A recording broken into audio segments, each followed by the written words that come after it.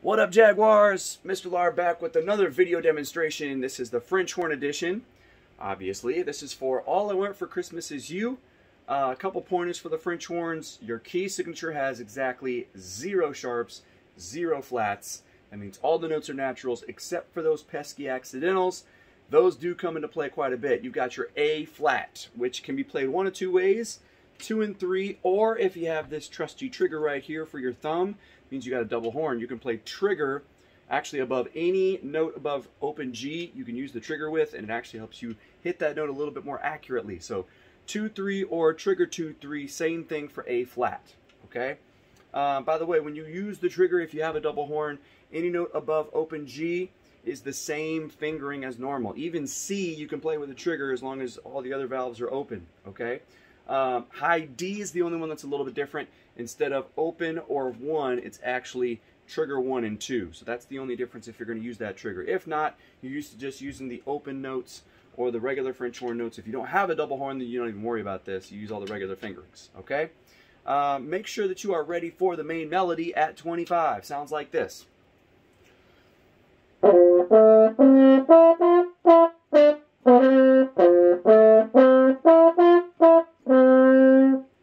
least you have the first half of the melody. Then again, at 33, you chime in with the melody again. Higher notes though this time.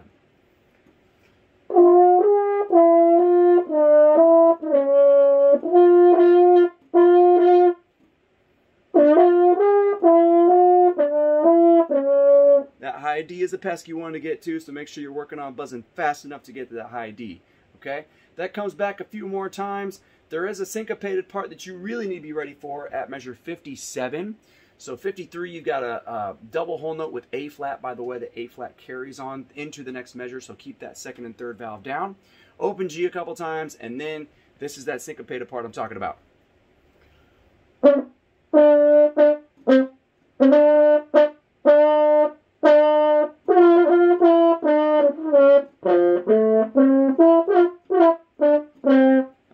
Again so it's a little more um, intelligible uh, so you can hear a little bit better. 57 again, here's that syncopated part.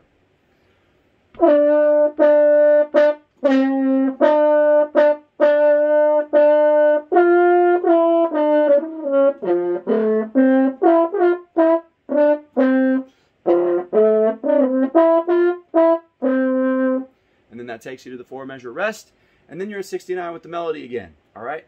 So be ready for that syncopated part. The only other kind of syncopated part is the section that comes in at 79 and then again at 87.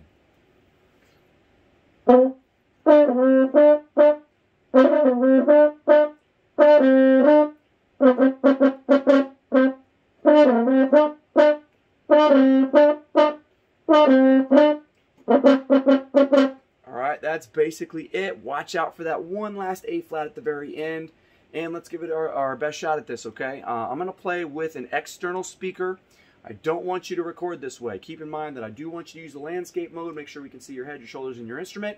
Make sure you do the clap with the recording, but do not use an external speaker. Make sure you use headphones or earbuds when you do this, all right? Let's give it a try. All right, the first thing we're to do is line up our audio and video with a clap. You'll hear one measure of metronome, you'll hear me count you in, and then we're going to clap together on beat one. Make sure that your hands are very visible in the video and that you're clapping right in time. Here we go. And one, two, ready, and clap. All right, if you missed it, go ahead and restart the video and try again. Now let's get ready to perform. Make sure that your head, shoulders, and instrument are clearly visible. You're going to hear one measure of metronome, one measure of count off, and then we're in at the beginning of All I Want for Christmas Is You. Here we go. And one, two, ready,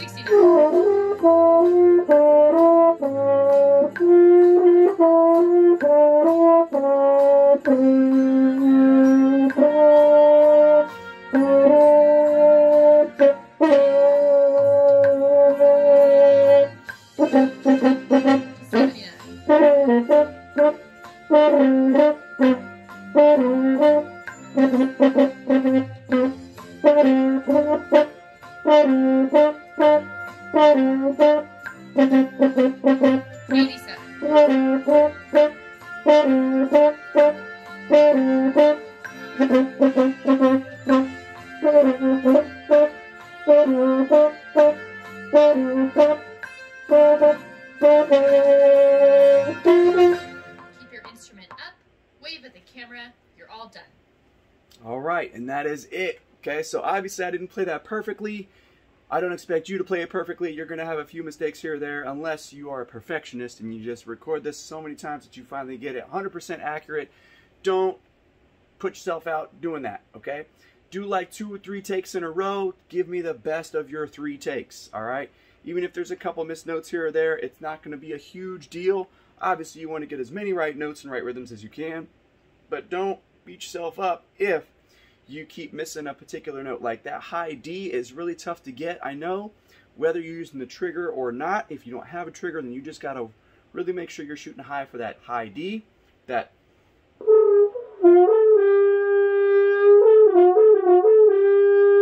it's hard to hit no matter what valve combination you're using, okay? So, uh, if that were my recording, or if you submitted that recording kind of the way I did, I would be fine with that, okay? Even with the, a couple missed notes here or there, it's going to be good, okay? Just remember to run the uh, guide track, the one from that Google document, with the instructions for our recording through some earbuds or headphones. Don't use an external speaker like I did, okay? Best of luck to you. I'll catch you guys in the next one.